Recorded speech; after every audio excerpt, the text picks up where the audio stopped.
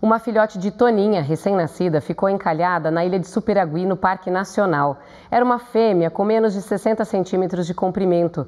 Ela foi resgatada pela equipe do Laboratório de Ecologia e Conservação da Universidade Federal do Paraná, que prestou os primeiros socorros e a transferiu para o atendimento especializado.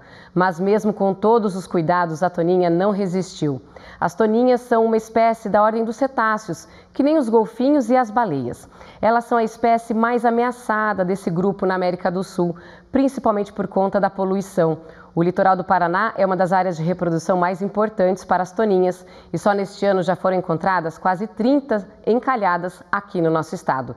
Quem encontrar animais marinhos encalhados ou mortos pode ligar para o Laboratório de Ecologia e Conservação no 0800 642 3341.